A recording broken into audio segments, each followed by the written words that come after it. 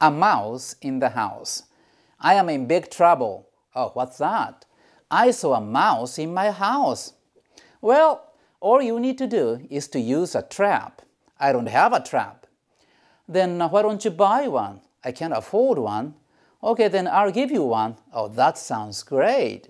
All you need to do uh, is to put some cheese in it. I don't have any cheese. Then um, put a piece of bread in it. I don't have any bread. Then uh, why don't you put some sauce in it? I don't have any sauce. Then what is a mouse doing in your house?